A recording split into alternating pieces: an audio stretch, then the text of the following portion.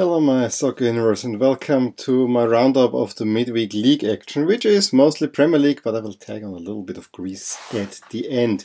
Uh, I have to say, I mostly saw highlights, only saw one match live, and that was yesterday's um, Wolves Liverpool match, which actually was a good one. But there were quite a few talking points, but I have to say, if I look at the Premier League this year, uh, besides everyone but Liverpool kind of stumbling and you know no one really going really places you more wonder of oh, there's so many bad teams and they're still towards the top of the table. That is one part of uh, the Premier League but I think the one thing that really takes over it because it bleeds a little bit into the Euros is injuries especially to England strikers are becoming a concern. And we had already the Harry Kane injury where we don't know if he will come back then just before this round, I got aware that Rashford is now out and injured. We of course have Pogba uh, out. I think took an operation, and we'll have another injury that potentially could affect England. And you wonder, are they still not the favorites? As all the bookies have them. I never saw England as favorites at those Euros, to be honest. But you saw in my first video that I made predicting the Euros or going through the groups, I suddenly had England come out as, as a winner where I thought I'm, yeah, let's do something fancy and not going by the book. And then I see that England are actually favorites. But yeah, that's kind of one of the main stories. But let's walk through the games. Uh, Bournemouth gets a big win over Brighton 3-1 that was sorely needed. Um, I'm wearing Newcastle because they were part of probably the craziest game of the weekend where Everton had a 2 0 lead uh, with Moise Kean finally scoring. You know, Italian manager, Italian players doing well. I was actually quite happy for him. Probably would have been more happy for them uh, if they would uh, edge out a win. And they were looking good until the 93rd, and then Newcastle scores twice. Yes, I'm more Newcastle than Everton, uh, to be honest, but you know, I like Ancelotti and I want that Moise Kean is also succeeding. So yeah, uh, the first goal by Newcastle was um, bicycle kick, and the second one was just pure mayhem where Pickford then uh, saves it behind the line. I have to say, uh, Newcastle is one of the craziest teams this season. I mean, they score late winners. They have a lot of goals by defenders at the uh, tour towards the end. Everton even gives is also in, in addition the team that gives up the most late goals. So yeah, and in addition, Newcastle is performing expected goals by a lot. But yeah, they get another vital points and are are, are doing much better than expected. Um, Sheffield United, Manchester City. Um, yes, City gets the win uh, through Aguero. Nice pass again by uh, De Bruyne, but it should have been not even that, that close uh, with Gabriel Jesus missing a penalty again. I think City has probably the worst collection of penalty takers uh, any good team in Europe. Crystal Palace, Southampton. Southampton, yes, they fell to Wolves, but they are really moving up. They're on a great run, and now they win at Palace. Um, also, rather deserved 2 0. They get going. Um, in a relegation uh, match, Aston Villa, Watford, that was a vital win for Villa. I thought from the highlights I could get that Watford actually had a little bit more of the game, but in the end, Villa gets the late win. And then the big match on Tuesday was, of course, Chelsea Arsenal, where it should have been a Chelsea win if you look at all the circumstance. We had First of all, a penalty for Chelsea given, that, and because David Luiz made, made the foul and he's sent off. At that point, everything points towards Chelsea. Of course, Jorginho uh, hoppity hop makes his um, goal. This time the goalkeeper was there, but then in the second half, Kante, it was a, I think it was a corner uh, from of Chelsea, and Arsenal is going on, on the counter and Ar- and Kante is slipping, and Martinelli can run through and goal and makes it 1-1. Kind of surprising. Then uh, Azpilicueta in the 84th gets Chelsea back in the lead, and you're thinking now they've done it. No, Bellerin comes back from injury and scores. Wednesday's game were kind of, yeah, I was nothing really exciting there. Spurs against uh, Norwich. Spurs scores their first goal uh, this season in the first half, but are not convincing. Uh, Dele Alli got that goal, which was uh, really. I he just That was the second one, but yeah, uh, that uh, where I was just needed, needed to head, in. But yeah, Dele Alli gets the first goal. Norwich actually with a really good performance. Um, Pukki converts a penalty in the 70th to make it 1-1. And, you know, I would have been happy if they finally get points again. But no, uh, uh, Heung-min Son can head in from a short distance, give Spurs a much, much needed win. Uh, was even more vital because now they can draw level with Manchester United, who managed to lose at home to Burnley 2 0.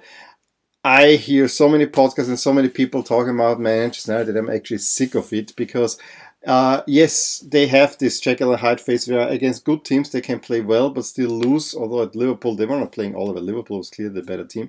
And then at lesser teams they um, uh, also managed to lose. And Burnley gets their first win as far as I know at Old Trafford. The second goal um, was a really nice one one that you should make an FRC by Rodriguez. That was a really great one. And then, um, so that was probably, probably the biggest result. I actually really like those Burnley away jerseys. I have to say, smart, look quite good. And then the big game was, of course, Wolves against Liverpool, where, yeah, the first half encapsulated the season with Liverpool being absolutely ruthless. First shot on goal, first goal. Uh, Henderson after a corner. Wolves then get a free kick where again uh, they get a free header. It wouldn't have had not have even been an offside, but they cannot get it, get a goal, and that's basically a huge difference. In the second half, um, Adama takes more or less over, but in a way uh, makes himself struggle. I mean, uh, if he uses more pace, no one is stopping him, but he is uh, playing the ball. Anyway, he was very much involved in the equalizer for Wolves, a well deserved equalizer at that point, where um, the ball is played out by Jimenez to Adama, who puts the cross in, and then uh, they head, head, head it home and make it 1 1. At that point, already. Um, we had an injury to Mane, who was replaced by Minamino, which kind of made a little bit trouble for Liverpool. I think uh, they then had only two on front, and that made it really hard for them to adjust. And I really thought that uh, Wolves would deserve a point, and there was a point in time when I thought they were actually closer to winning it. Um, however, you never should count out Liverpool. And I was actually riveted to the TV. Uh, because I just wanted to see this was an exciting game. Will Liverpool again drop points after they haven't done it since uh, ages at, at Old Trafford. No, they don't drop. It was a throw in. Ball gets to Salah, who kind of keeps it away. I mean, Salah. I, I, I understand if people say he's frustrating, but yeah, he tries to keep the ball. Then uh, it goes back to Henderson, who plays it through to Firmino, who can slot it home. It's 2 1 Liverpool. And I just realized I forgot one Wednesday game. The, actually, the one that I saw a little bit between Leicester City and West Ham, where Leicester actually had not much trouble. However, the biggest trouble was, and that was the injury I was talking about, that um, their uh, big striker, why is the name now not coming when I really need it? Um, Vardy, of course, stupid me, uh, got an injury, and I don't know what's his status, but he went out. It was 2 0 Leicester City, relatively easy um, at in the first half. Um, then uh, West Ham gets a penalty, looks much closer, but Ayoze Perez uh, with a penalty and another nice goal late in the game makes it a convincing 4 1 win. So if we look at the table now, we have Liverpool flying game in hand. It's next week against uh, West Ham United. City sits in second, three points ahead of Leicester, who also are kind of with a cushion. Uh, maybe they overcame came out their weak period where they lost two games in a row.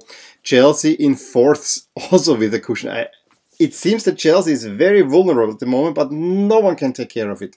Manchester United loses. Spurs has been losing, now gets in there. I think Wolves might be the most uh, dangerous team, uh, potentially catching uh, and going in, in, into the top four, but it's still a a big run. Mean, six points it can happen. Sheffield United is also there. Southampton moves in the top half of the table. Arsenal stays steady. Um, and then, yeah, Everton is another team that's disappointing. Newcastle, despite getting this draw, is also dropping a place because Burnley was winning. And on the bottom of the table, yeah, Bournemouth got a big win. Um, Aston Villa gets itself, I don't want to say out, out of trouble, but it puts West Ham into trouble, and West Ham really doesn't look good. Watford uh, is also, uh, they have been good now, they're going down again. Norwich, I think, will go down. So that was the Premier League, and let's very brief, briefly talk about Greece, where uh, in the uh, results we still have the title race on. Olympiacos getting a narrow one win, nil win at OFI and uh, winning narrowly at Lamia. Um, Panathinaikos getting in shape and getting good form 3-0 over Atromitos and also AEK wins at Volos and Aris Xanthi ends 1-0 so those are kind of the results. And we have the top four uh, also on top of the table with Olympiacos now three points ahead of PAOK although I'm not sure if that maybe that's alright uh, AEK 10 points behind and Panathinaikos third 31 but the big talking point in Greece, and I'm not an insider on Greek football. I actually wish I could, I would get more news because uh, that's a league that's, you know, is big enough to be worthy of covering, but it's also so messy with the warlike state. And they had a meeting between the big, uh, the four big four bosses and UEFA officials to kind of can we how can we solve the really messy situation in Greece. Many people even thinking that the meeting will not come to anything, which I thought so too. But one point for now is that they made another meeting and that they agreed to have uh, more foreign referees. And yeah, people are talking. And at least if people get to talk, maybe they can get something going. So there is hope that Greece will maybe have some normal circumstances, although knowing the Balkan Peninsula, not being an insider in Greece, but you know, everything to the southeast of Austria, it's hot there. It's really hot there, and tempers flare quickly. So, uh, interesting situation for sure. Anyway, let me know what you watched uh, this past weekend. Let, let me know, ah, this past week. Uh, let, let me know if you agree with my assessment of the games. As I said, I only saw really the Liverpool game live. The rest was all uh, my impressions from highlights and also what I read and see. Give me a thumbs up if you enjoyed this video, subscribe to my channel if you want to see more, and I will talk to you soon. Bye. Hey there, I hope you enjoyed this video, and if you did, here are some videos and playlists that will be of interest to you too. Also, please consider subscribing to my channel as it will keep you updated with all things that are rotating in my soccer universe. With that, I wish you a wonderful day. Bye. Música